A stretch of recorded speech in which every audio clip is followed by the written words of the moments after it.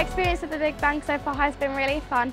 I started the day by presenting my project and afterwards we got to go around and see all the really cool projects. Just, there's such a diverse range. I think it's really nice because there's a lot of things about female in STEM and I think it's really good that they're promoting that here. We are really, really excited that we can bring more of our students here to experience the Big Bang, to show them that there are so many careers out there, that they don't just have to stick to very stereotypical job roles, that sometimes for girls in particular, they think they may be the only career path they can go down. I'm really happy. I can't process it right now. I feel like it's a dream.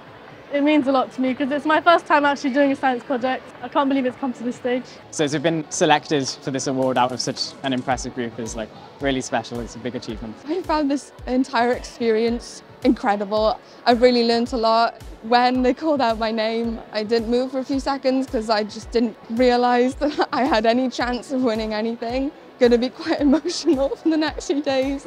I'm just very glad have had this opportunity and to have been able to meet so many like-minded people who are looking into the STEM field and career.